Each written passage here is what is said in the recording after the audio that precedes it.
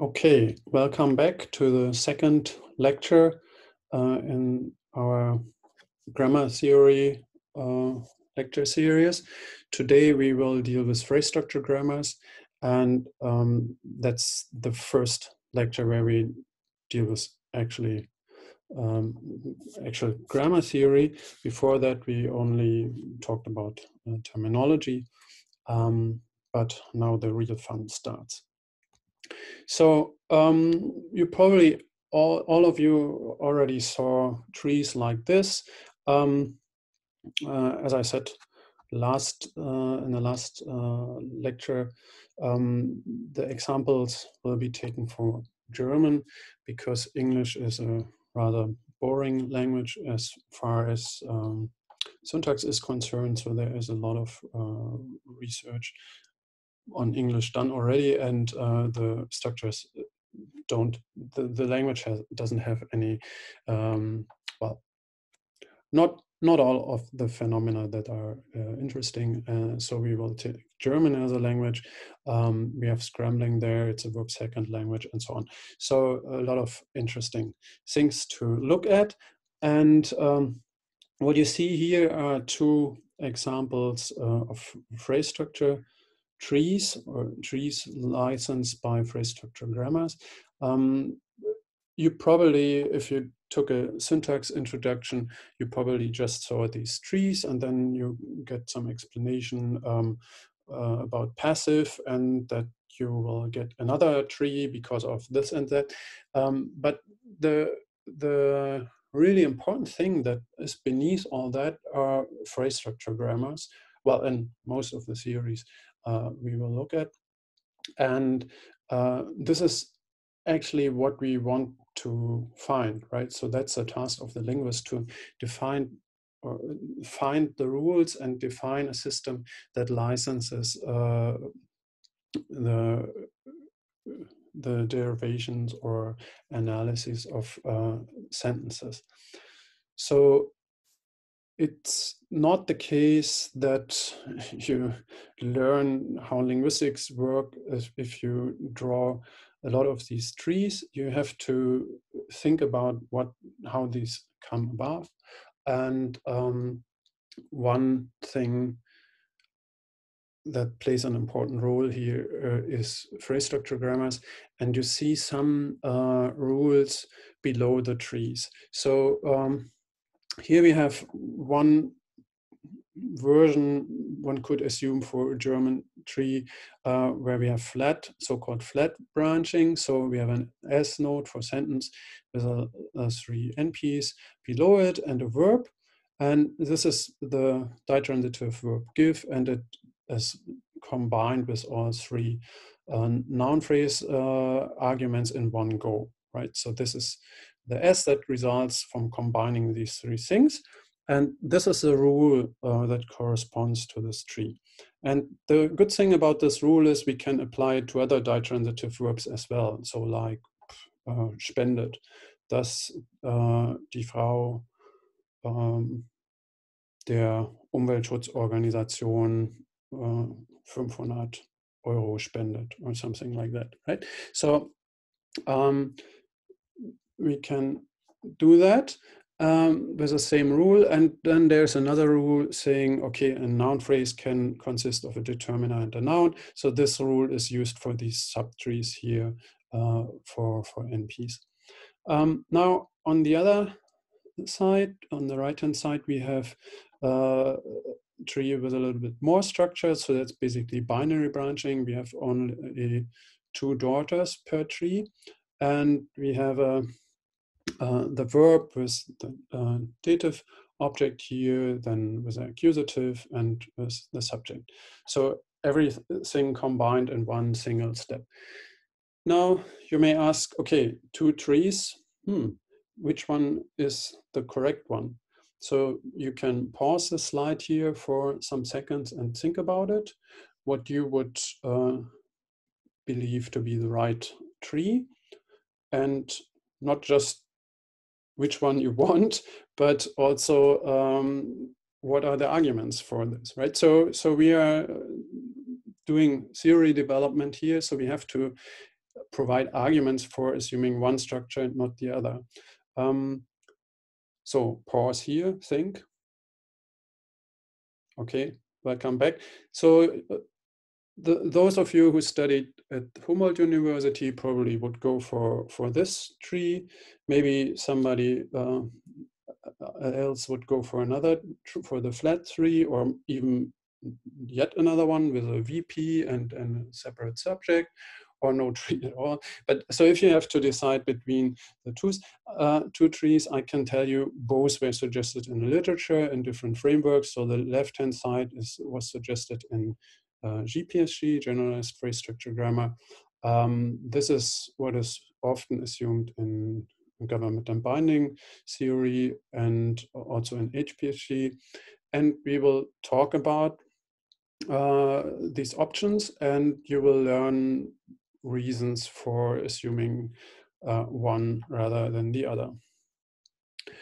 Okay, um, just a piece of notation. Uh, what you see here is hardly readable. That's uh, the representation of, uh, of this tree in bracket notation, right? So I, I got that uh, in a paper for reviewing. Um, you can do that. Uh, well, there are two reasons for, for doing that. So first is if you want to save space uh, and you don't have space to put a nice figure in your paper, or if you are lazy, um, you don't want to draw the tree. Well, nowadays um, there, there are good packages for LaTeX, uh, for instance, um, for drawing trees. So the forest package is uh, it's really easy with this package. And so being lazy is a bad excuse, and the figures are much better than uh, these this notation. But I just wanted to include it so that you're not surprised if you see it sometime in a paper. Okay, some terminology. Um, you see a tree here, uh, an abstract one, and all the circled things here are nodes of the tree. Um, this is a, a, branching node, so we have two things below it, two, two or more. Uh, this one is non-branching, so there is, um, um, well, it's actually contradicting. Uh, unary branching uh, is another word for that. So, so there are not more than uh, two of the, uh, not more than one daughter. Um, when we talk about trees, we use uh, terminology or words from uh, family trees. So the uppermost, or well, the the node that is dominating to other nodes is called the mother. Um, um, so A is the mother of B and C, and um, C is the mother of D, and B and C are uh, sisters of each other. Um, we also need the relation of dominance. Um, there's a definition down there at the slide.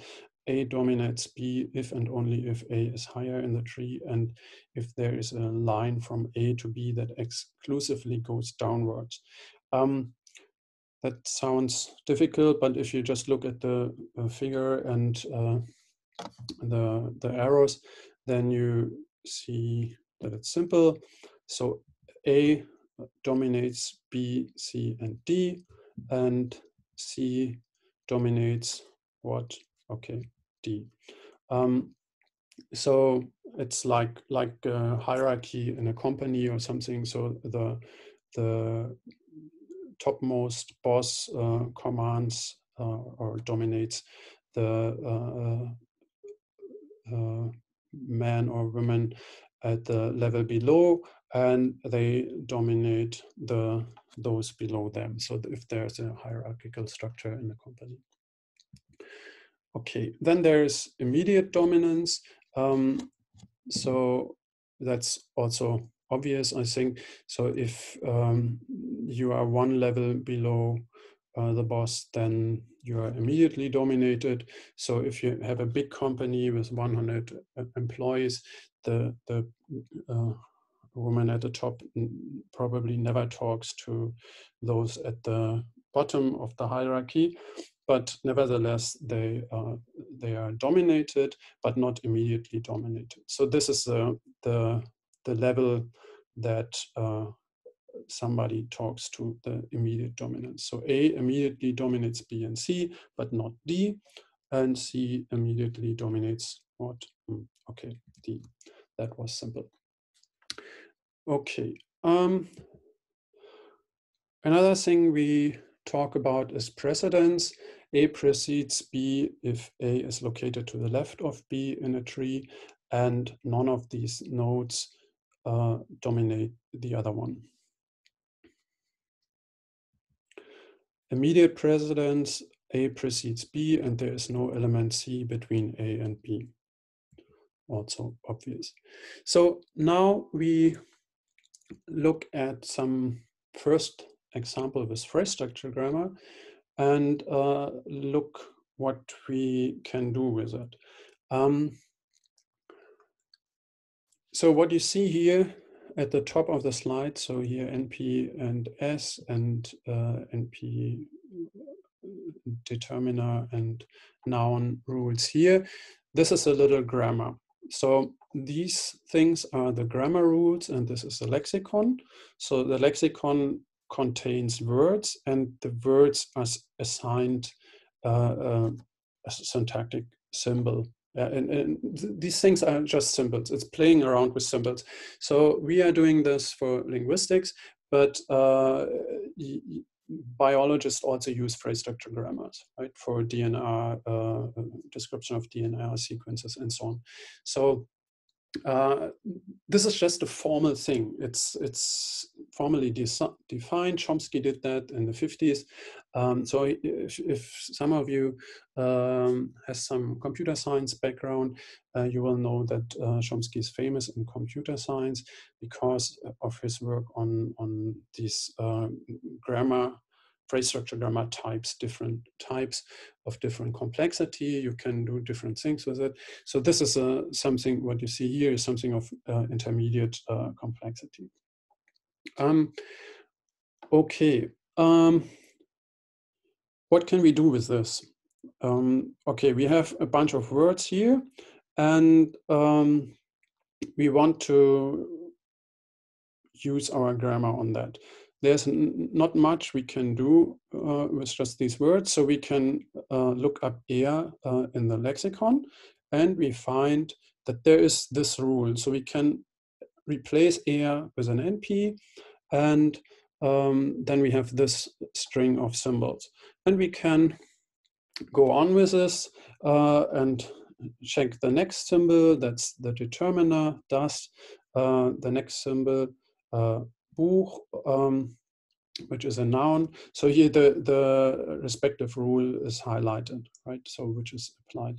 And now it's interesting because now we have two options.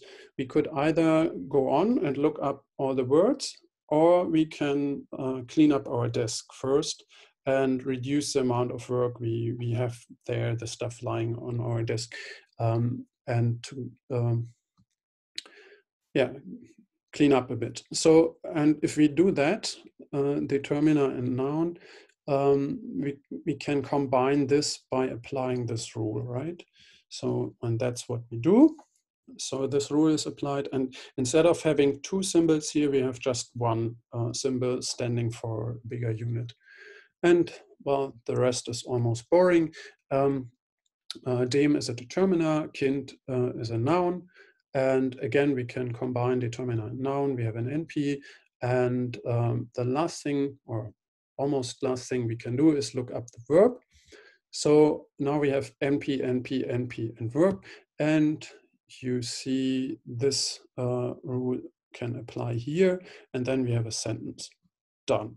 Okay, that's cool, right? So we have uh, analyzed the, the sequence of words uh, by replacing some symbols and found that that, that this is a sentence. Um, the uh, the interesting thing about this grammar as it is written down there is that there is no directionality built in there. So uh, nobody says uh, you have to start with words and try to derive uh, a sentence from it. We can also use this knowledge in the other direction. So we can say, okay, um, give me all the sentences um, that this little grammar licenses. And um, then what we would have to do is that we take this symbol and uh, apply all the rules that can be applied. So applying this rule would uh, give us NP, NP, NP, and then we can go backwards and until we arrive at the lexical level so that all uh, these abstract symbols are replaced by actual words. And then we have uh, a sentence, for instance, this, right? And um, these phrase structure grammars can also pair, be paired with a semantic uh, component. And then we could say, oh, give us all sentences that mean um, er das Buch dem Kind gibt, exactly the meaning of the sentence we, we just analyzed. And then we get that sentence and nothing else. And this is, um, well, in some way or other, uh, what we are doing as humans, right? So we have, uh, that's the assumption, right? We have a set of uh, knowledge, a set of rules, a set of knowledge about language, and that is somehow a set of constraints or whatever it is, right?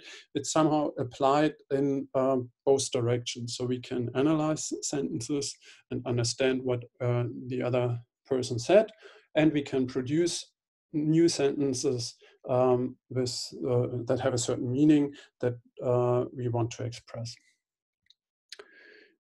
Okay. Um,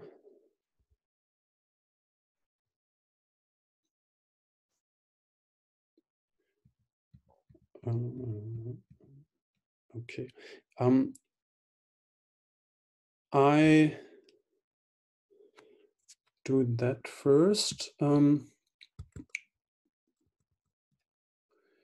this is a, what you see here is a, um, a web page where you can enter um, Prolog programs and have them run for you. Uh, it works with SWI uh, Prolog, uh, Amsterdam-based development. And I want to show you that we actually can parse with phrase structure grammars. Um, if you put them into a format that is um, uh, called definite, definite clause grammars, you can enter them in most of the Prolog uh, interpreters and have uh, sentences parsed. So if you, you can also go there, the link is on the slides. And uh, if you do that, you have to press program. And then you can enter Prolog code here or such definite clause grammars. Um,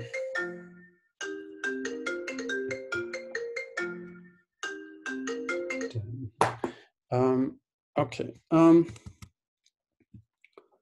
so this is, uh, can I mark this? I can't. Okay, so this is uh, an example grammar. I will uh, enter it here. So just to save us some time, I copy and paste it. So that's basically the, the grammar uh, we had so far and some lexical items. And you can now uh, parse by entering some cryptic, cryptic things. Um, yeah.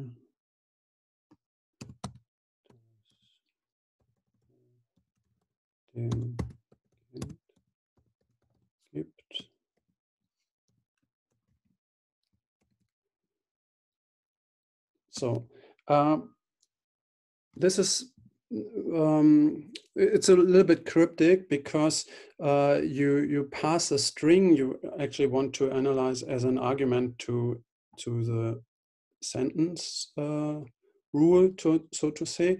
The, the way it works is uh, it's called parsing as deduction. And the Prolog uh, engine behind that uh, does some reasoning. It's, it's a very simple parser, it's very inefficient, um, but it's built in and it's uh, handy for such demonstrations. One can establish uh, build more efficient parsers in Prolog. So you pass that sentence to, to S, and you uh, it, it, uses differences list difference list. So like beginning of a list and an end. And you just say okay i um, want to be the rest of the list the empty list. So that that's the reason why this syntactic stuff is here. We don't have to worry too much about that. And i hope i didn't make a mistake now. And press run. And it says false okay interesting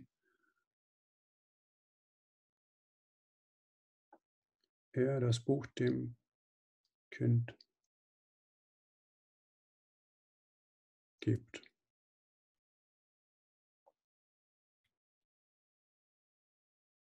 Ah, okay. Um, yes. Um, so, so the grammar we had in the in the course um, had the rule uh, NP, NP, NP uh, verb because German is a verb final language and I didn't want to pretend it is verb second, but for the demo, I uh, chose this rule and here it has the verb in second position so that it looks more natural. So I fooled myself. Okay. Um,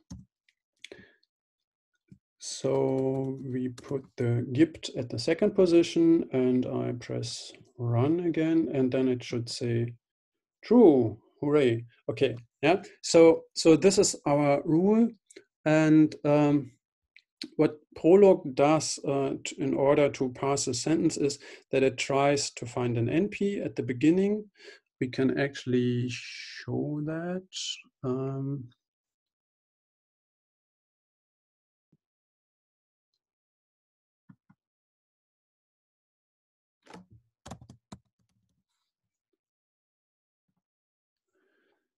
So, so you can see all the steps it does now. So in order to, to prove that S, uh, this S is a sentence, um, it goes to the first clause, so to say, the first thing of the uh, rule of the right-hand side. So that's NP, right? So it's green now. And um, now it tries all NP rules as we will see. Um, so it tries to find a determiner. And in order to do that, the first thing here has to be a determiner. That's not the case because it's only das or dem that could be uh, realized as a determiner. So it tries the the NP again. It's yellow now, as you see.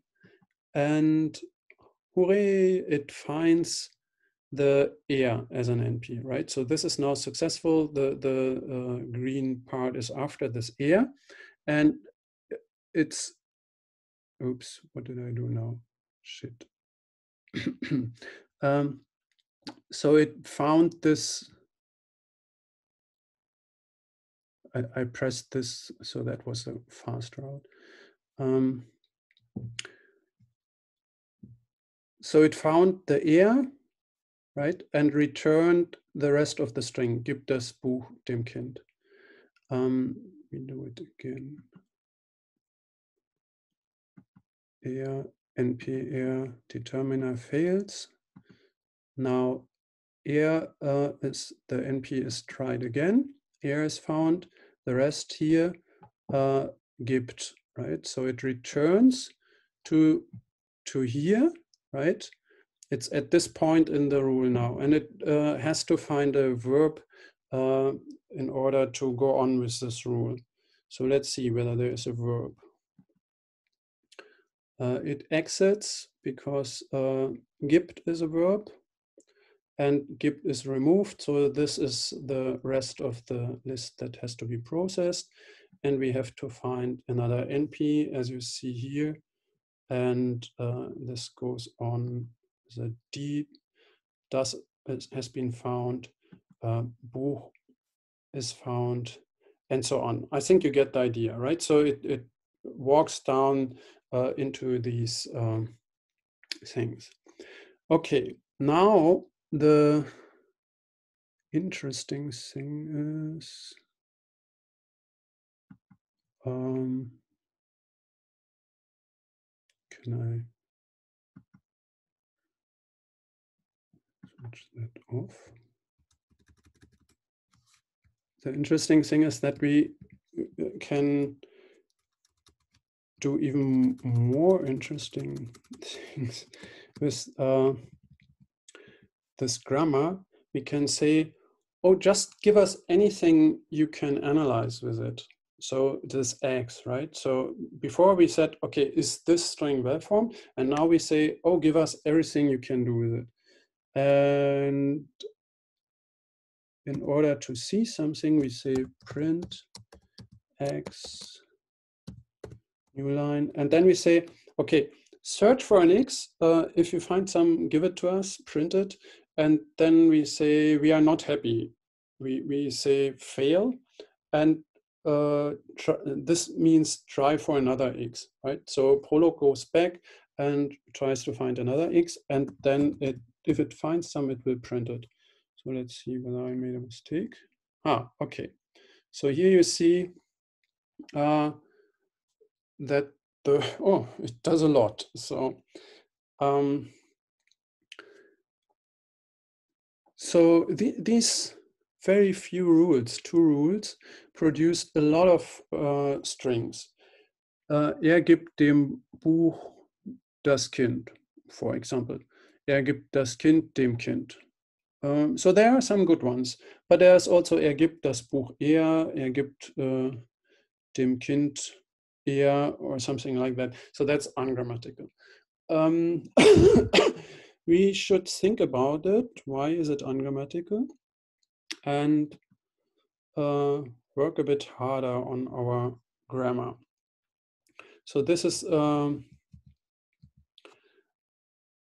uh, this is the set of rules we have, and the question is, what is wrong with them? So what we get is, for example, uh, also we, we get, as we just saw, er das Buch dem Kind gibt, but we also get ich das Buch dem Kind gibt, um, which is wrong. There is um, some problem. You can think about it. I, I pause for a second, or you, you press pause. So what is wrong with 29b? Well, yes, subject verb agreement is uh, wrong. So ich and gibt do not agree. Um, er das Buch das Kind gibt. So what is wrong here? Again, um, some form of uh, case requirement of the verb is not uh, met. So gibt requires a dative, but um, the uh, potential dative object is in the accusative. And then we have a fourth example, er den Buch dem Kind gibt. So that's dif difficult if you don't speak German as a native speaker um, or learn German. Um, so there's um, determinant noun agreement uh, in uh, gender gender agreement that is violated here. So we need something in our grammar to block these things. So this is what we just did. Um,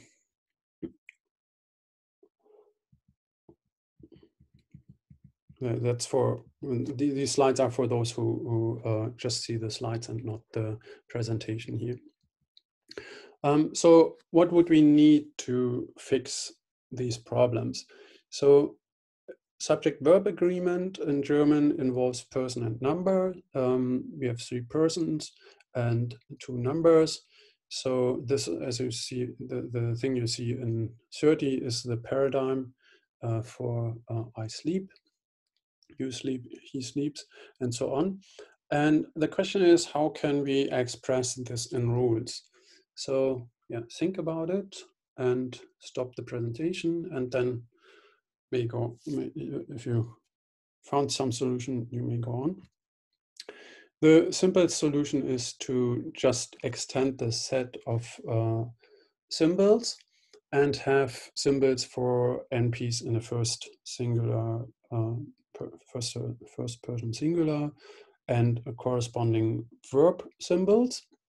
So we would have six symbols for nominal phrases, six for verbs, and six rules instead of one rule. That's sort of not great, is it? Um,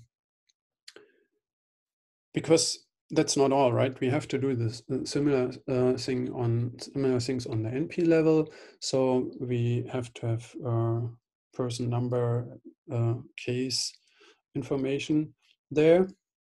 Um, and so we have uh, three by two by four, 24 new categories for, for NPs in total.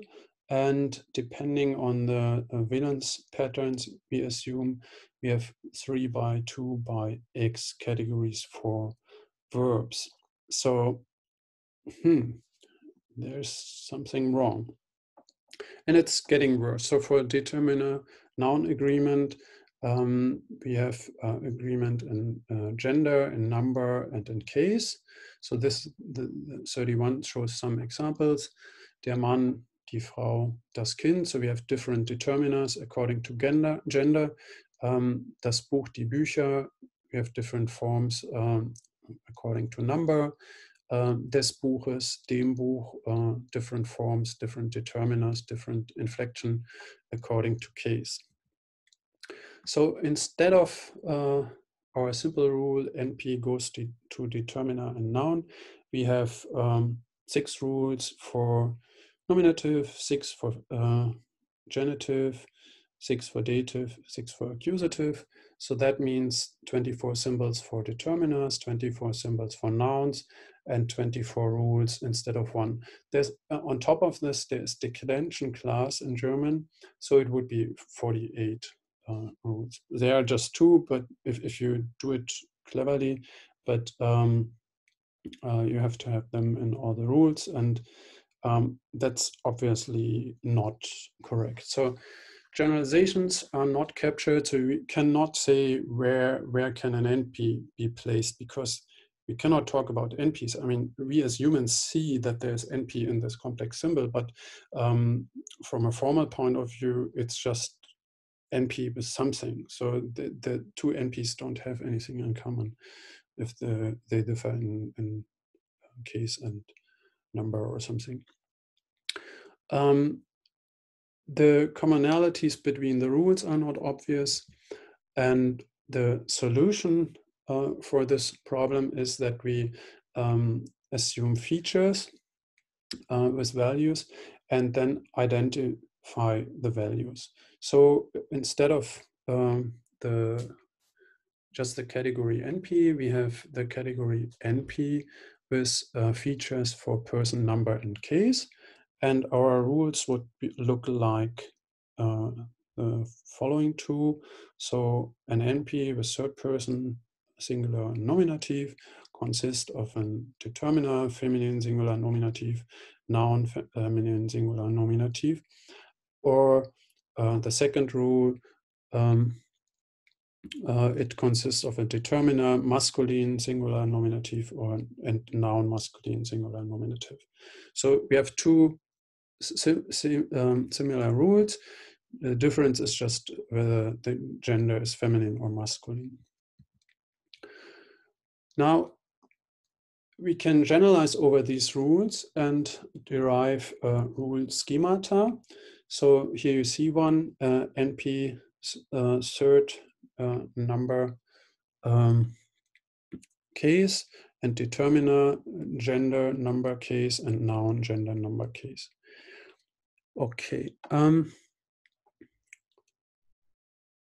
the the interesting thing is that um, the the values of number and case do not matter. So the only thing that matters in this rule is that they are identified. So if you have certain genders in the lexicon, um, like feminine, masculine, or neutral, then they can be inserted there. And then the noun, let's say for the determiner, and then the noun has to have the same uh, gender and number features. Okay, the, the number three of the NP here is just fixed. Um, at uh, because you have a determiner and a noun, it's clear that this is a NP in, uh, in the third person. And so you just write that down. And for personal pronouns like I or uh, you, you have different uh, uh person features. Ah. Now, um, for for the sentence rule, we can just uh, establish the subject verb agreement here by using the same uh, feature, same variable, so to say, for the feature.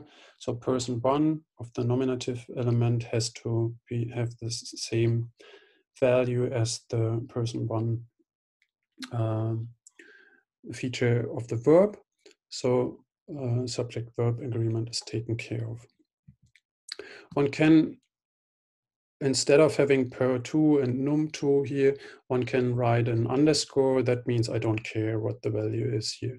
So for uh, objects, we don't have object agreement in German. So the person and number uh, are irrelevant for on the clausal domain.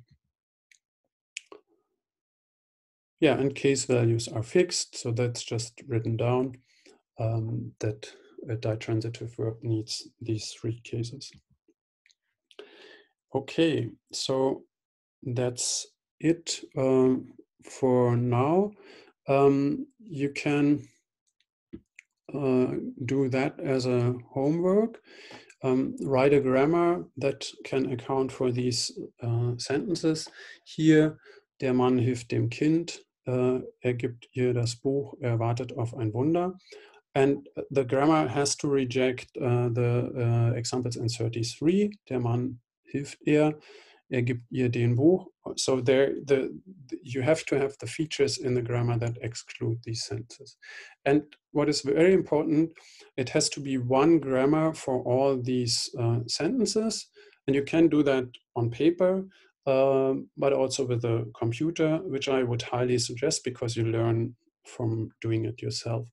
Um, the if you do it on paper, the task is not to write three grammars for these three sentences. People very often do that.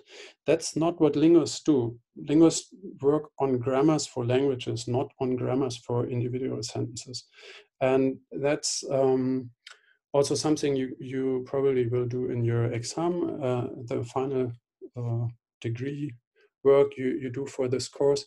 And people did that in exam, although I mention that very often. So it's one grammar we are after.